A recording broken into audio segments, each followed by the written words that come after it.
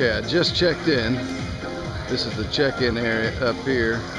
Thought about it after I left there, but people come up there and there's different stations you go to.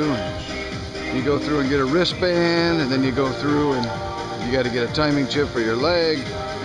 And uh, it's good to see some good friends and brings the energy back and the excitement back. So this is the uh, the pool. It's a pool swim today. This is a great race to start out if you're a beginner.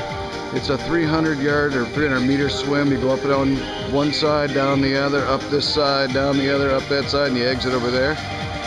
Running around over here, you'll see back there, there's a couple guys coming in. That's the, uh, the finish line as well. But that will take you over to transition. We're heading there next.